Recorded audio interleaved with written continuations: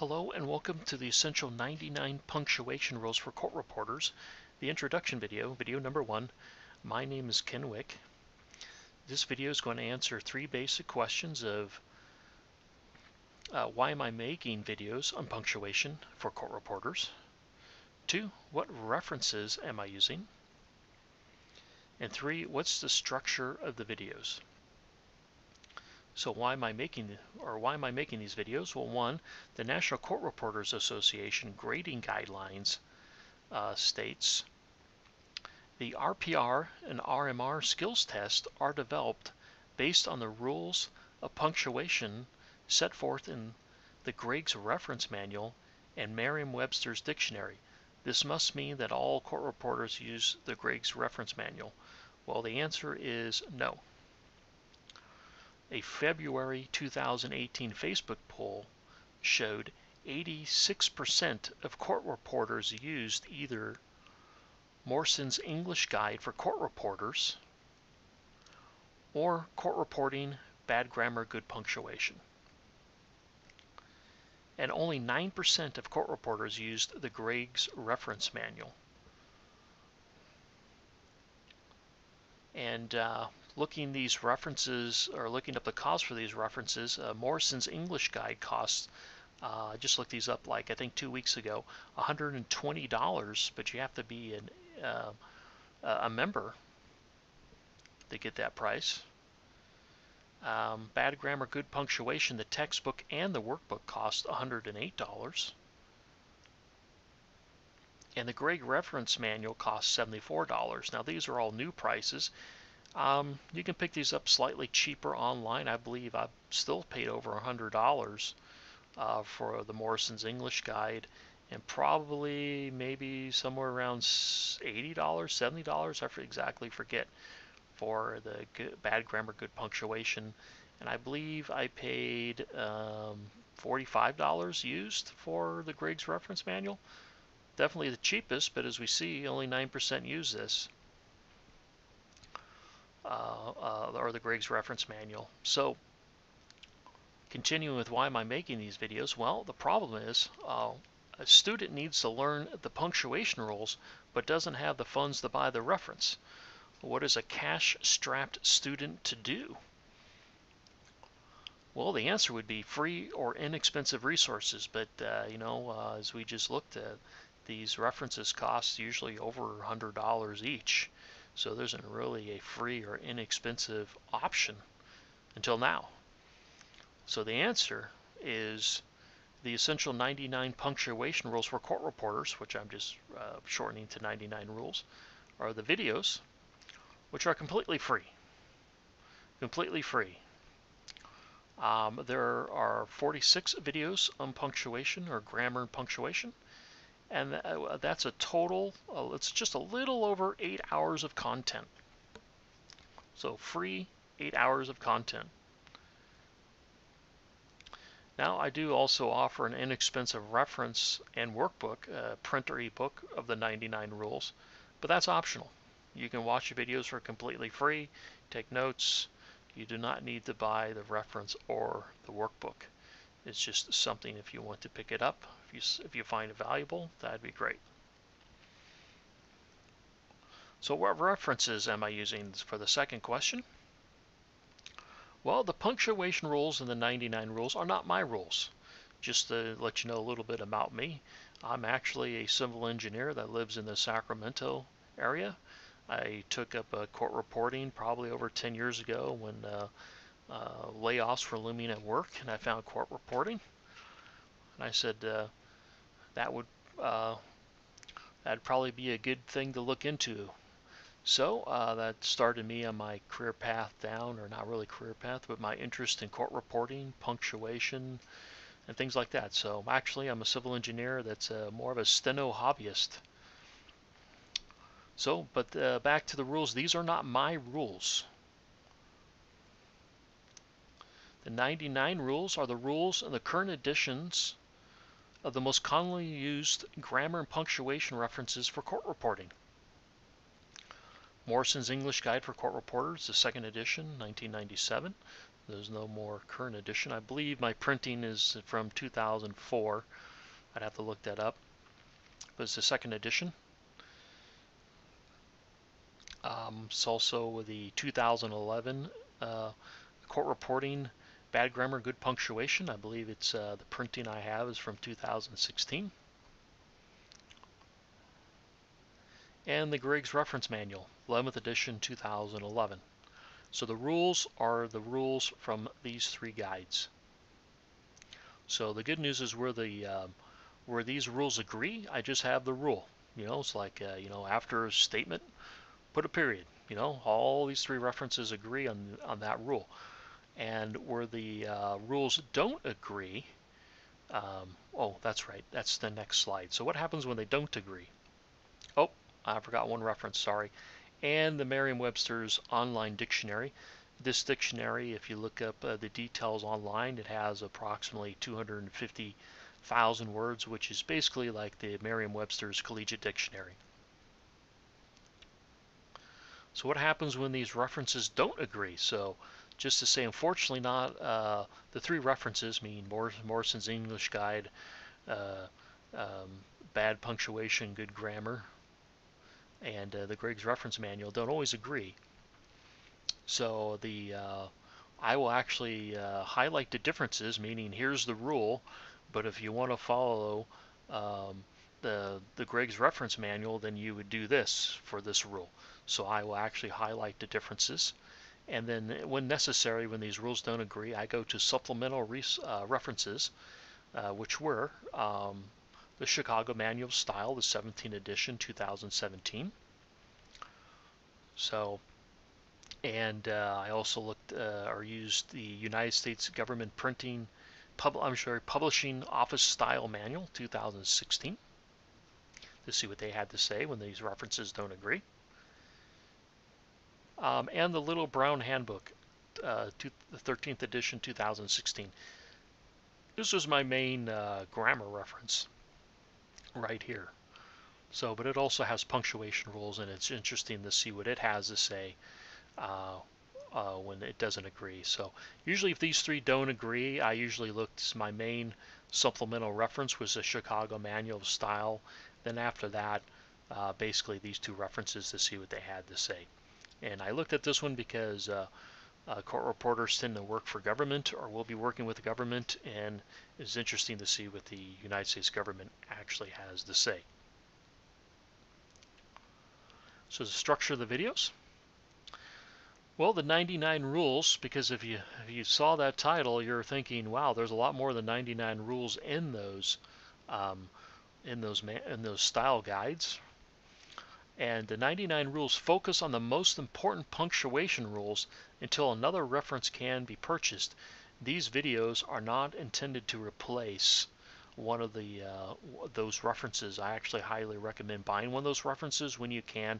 This is just an inexpensive or free uh, resource until you can purchase one of those uh, reference manuals. And um, I say it focuses on the most important punctuation rules. What I mean by that is I use what was called, or what's called the 80-20 rule. The 80-20 rule basically says that 80% of the results come from 20% of the causes. So for example, 80% of sales come from 20% of customers. So this would mean for uh, for us for uh, for punctuation mean probably means that about 80% of punctuation usage only comes from about 20% of the punctuation rules. So therefore, the 99 videos in ebook and printed book focus on the 20% are the most commonly used punctuation rules. So I'm not trying to cover all the punctuation rules.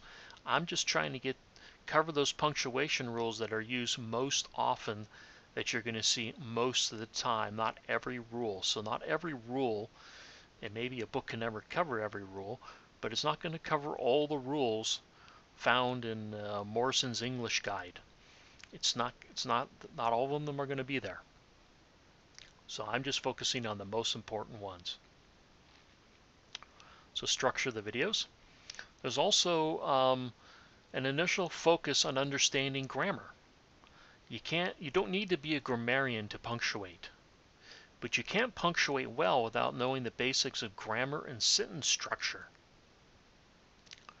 So, and Morson's English Guide has little discussion on grammar. It was probably meant as uh, it seems like uh, at this time in the 1997s that uh, uh, you find actually other uh, English guides for court reporters. I couldn't be mistaken, but I have found other books. So maybe Morson's was really just meant to focus on punctuation, and you're supposed to have another grammar book. I'm not too sure. It'd be nice to have a court, an older court reporter uh, chime in on that. But um, the uh, bad grammar, good punctuation actually has the initial four chapters are on grammar. So if you think of that guide as mainly a punctuation guide, well, the first four chapters are all in grammar. And um, she actually says in her book, I, Marjorie Wakeman Wells, believe it is not possible to punctuate well without understanding the basics of grammar and sentence structure. Basically, I agree. You have to know grammar, basic grammar and sentence structure to punctuate. And my videos cover uh, basic grammar. Also, I cover uh, related, uh, related rules. Related punctuation rules on the same topic are covered together for better comprehension. So what I found in, in the some of the other books is uh, like on the I know on Morson's English guide that uh, covers the period and then it starts talking about period, the period with closing quotation marks. Well, to me, um, that should just be covered. You should try to group those rules together. So what I mean by that is an actual, well, that's actually my first example, quote, direct quotations. So when I cover direct quotations or quotation marks, I cover capitalization, setting off the quotations, that's usually done with a comma or colon, closing quotation marks with other punctuation, just as I was mentioning with like periods and commas. So when you go to the period and comma section in my rules, you won't really find the punct the the, uh, the the rules that cover the period with the quotation mark, I'm actually going to cover that when you get the quotations. Because I think that's how people would look things up. So they're going to say, oh, I have a quote. How do I use a period with a quote? Some other examples are the slash. So I don't cover all the things with a slash. So slash slashes are used usually with are used with dates and fractions. So um, I'm just going to cover it when I cover dates. When I'm covering dates, I'm going to cover you know like numerical formatting. There's a slash, things like that fractions. So when I cover fractions, I'm going to cover, you know, uh, do you use a number, do you use words, you know, use a slash, when do you use a slash? So I don't cover that when I cover slashes. I'm going to cover that when I cover fractions, so I cover everything at once. It's a related topic for better comprehension. Another example, colon. So I have, uh, there's the general rules, uh, basically uh, connecting or separating clauses and phrases. If you don't understand this, don't worry. There's a general section and then you know colon using a colon with direct quotations with time. I'm not going to cover all the the rules with a colon, even though they have different uses. When I have these related uses, you know, like time or direct quotations, that's when I'm going to cover that aspect of the colon. I'll just skip that one. And then, uh, so then the continue with the structure of the videos. There's um, what I call the fundamental concepts, uh, just to reveal these. Um, there's total of five videos for an hour and a half. So in an hour and a half, I'm going to go over grammar, overview of the punctuation marks, and the four different types of sentences. To me, these last two videos, even though you may say, oh, that doesn't look too important, but these are very important. This actually covers uh, most people, if you ask them or talk to them, say, well, generally when you use, when do you use a semicolon? uh, when do you typically use a colon? That's actually this video right here. It's just sort of a high level overview of why do you use these different punctuation marks. And personally, after watching this video, um, some of the rules, some of the punctuation rules sort of explain themselves because it's just really when you understand the concept of the comma and the colon, semicolon that the rules make a lot more sense. And then the four sentence types um, when you do punctuation, you'll be gathering sentences or constructing sentences. And there's only four basic types of sentences. So it's good to go over what these four different types of sentences are so you know how to construct them. So I actually say, watch this video, watch all the videos, and come back and watch at least these two videos right here. So, but for fundamental concepts on grammar, there's five videos totaling an hour and a half. And then uh, there's 17 videos on major punctuation. So that's all these right here. So period, comma, semicolon, colon, dash, question mark, quotation marks. So there's 17 videos that cover these punctuation marks. Then I have six videos that I uh, cover what I call minor punctuation. I actually think I got the major minor punctuation from the Gregg, from the Gregg's reference manual, to be honest. So those are uh, the minor punctuation marks are parentheses, the use of italics, the ellipsis, the ellipsis, slant, apostrophe, and the hyphen. Just a general usage. And then what I there's uh, 18 videos on what I call other topics, and those are these. I think there's one more. So 18 videos on uh, capitalization, numbers, which you know, time, money, fractions, ordinals, etc. Abbreviation, the hyphen with compound words, and spacing. And spacing, uh, probably, uh, the big question is there one or two spaces after period? You know what? Watch the video. And then uh, sort of use of yes or no. It's just specialized words and there's a total of 41 videos on the major punctuation, the minor punctuation, and other topics. There's a total of 41 videos, which totals six and a half hours of total content. Six and a half hours. All free.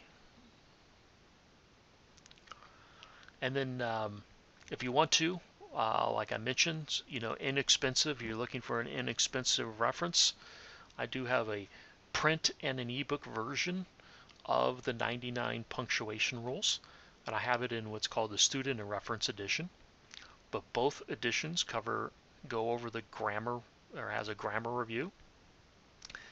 Uh, both editions have the 99 rules, and both editions have 514 examples. So the student edition currently is uh, 695 for print, 299 for the uh, ebook.